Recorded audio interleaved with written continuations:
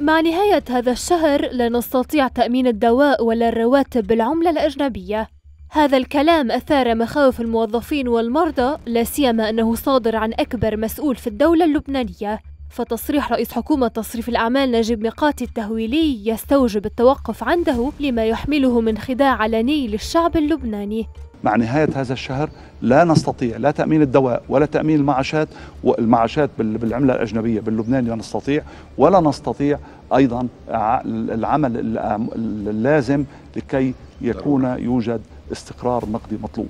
فالرئيس الذي صرف مليارات الدولارات في ثلاث سنوات من عمر الأزمة الاقتصادية جاء اليوم ليطالب بالتشريع الذي بالطبع سيؤدي إلى تبخر ما تبقى من أموال المودعين تحت ذريعة دفع الرواتب وتأمين الدواء.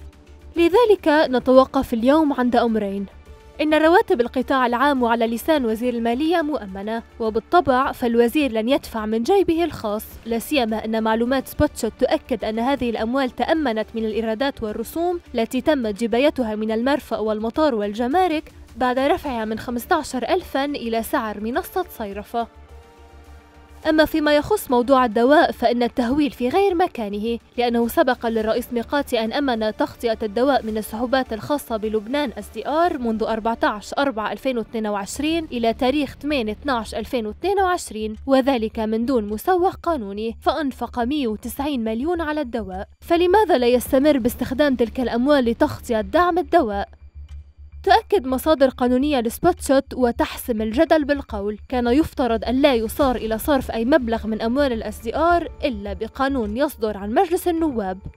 وكان الرئيس ميقاتي قد صرف 636 مليون دولار من أموال ال SDR حيث خصص منها حوالي 14 مليون دولار لجوازات السفر كرمة لعيون هشام عيتاني وشركته. وصرف للقروض 93 مليون و544 ألف دولار. أما الكهرباء 221 مليون و598 ألف دولار. كما تم تخصيص 111 مليون دولار لدعم القمح إضافة إلى مبالغ لأمور أخرى غير طارئة.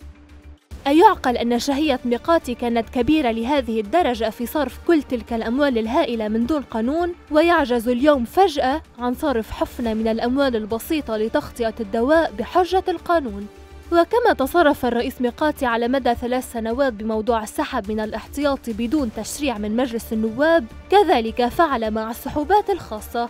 فما الداعي اليوم لطلب التشريع الذي يخدم اختفاء ما تبقى من أموال المودعين في حين أنه لا يزال في حساب الدولة من السحوبات الخاصة؟ ما يكفي لتغطية دعم الدواء والقمح فيما الرواتب مؤمنة من الإيرادات.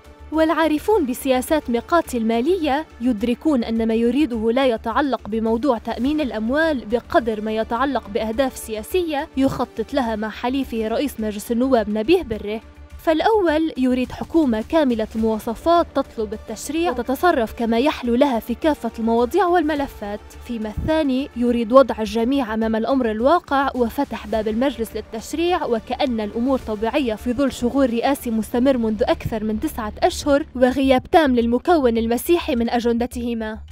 أما الهدف المبيت لميقاتي وبره من طلب التشريع للصرف من الاحتياط فهو تأمين الغطاء القانوني للحاكم السابق لمصرف لبنان رياض سلامة. الذي صرف بناء على طلبهما المليارات بدون الاستناد إلى قانون يشرع له المس بالاحتياطي فأين نواب الأمة النائمون منذ سنة تقريبا على تجاوزات الحكومة؟ وأين هو المجلس الأعلى لمحاكمة الرؤساء والوزراء ليحاسبوا ميقاتي على هذه التجاوزات؟ هذا الأمر لا يهم نجيب ميقاتي أو يهم أعضاء الحكومة بل يهم مجلس النواب ويهم كل لبناني وفي الختام نسأل المشاهدين هل سمعتم برئيس حكومة يقوم بما يريده في أي دولة بدون محاسبة؟ شاركونا تعليقاتكم